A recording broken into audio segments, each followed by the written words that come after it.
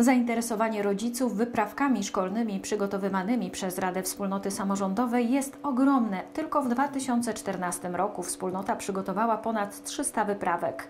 W tym roku akcja przygotowania wyprawek szkolnych odbywa się pod hasłem Wspieramy edukację wałbrzyską i ma stanowić nagrodę za dobre wyniki w nauce dla uczniów z mniej majętnych rodzin z Wałbrzycha. Dzieci i młodzież szkolna marzy o wakacjach. Ja jako przyjaciel dzieci przygotowuję wyprawkę szkolną. W tym roku pragnę zaprosić naszych parlamentarzystów ziemi wałbrzyskiej i samorządowców.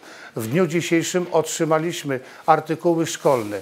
To jest od firmy PASO, pani Dorotki Gudalewskiej, pan Grzegorz Drzewiecki, pan Janusz Woźnicki, pani poseł Kołacz Agnieszka Leszczyńska, pan poseł Ireneusz Zyska, pani Iwona Johan. Są to osoby, które od lat pamiętają o nas i już jako pierwsze się zgłosiły.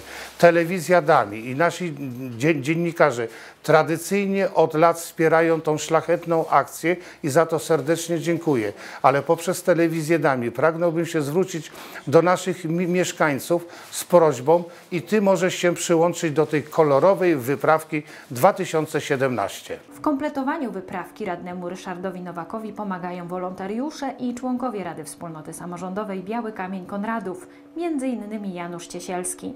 W wytypowaniu dzieci, które zasługują na taki prezent, wspólnocie pomaga Centrum Obsługi Placówek Opiekuńczych, Miejski Ośrodek Pomocy Społecznej oraz dyrektorzy szkół. Na liście już widnieją 23 nazwiska. Wręczenie wyprawek nastąpi 23 sierpnia o godzinie 11 w siedzibie Rady Wspólnoty Samorządowej Biały Kamień Konradów.